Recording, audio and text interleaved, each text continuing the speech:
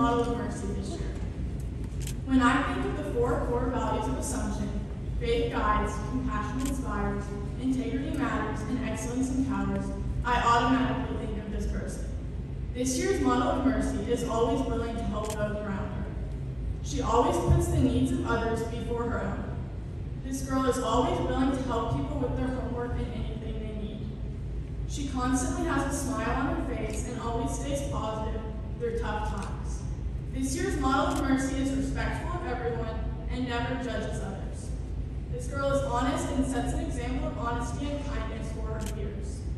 She strives to be excellent and successful in everything she does, both in and out of school.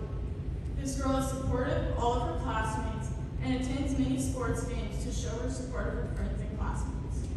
This year's Model of Mercy has a huge heart and shows all people loving kindness. She leads with her heart just as Jesus did. She has been through very difficult times in her life, but has remained positive, loving, and optimistic. Despite her father being sick and in the hospital, she kept her grades up and stayed visibly strong, even though she was hurting on the inside.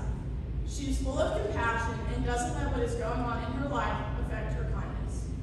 This year's Senior Model of Mercy is Sydney.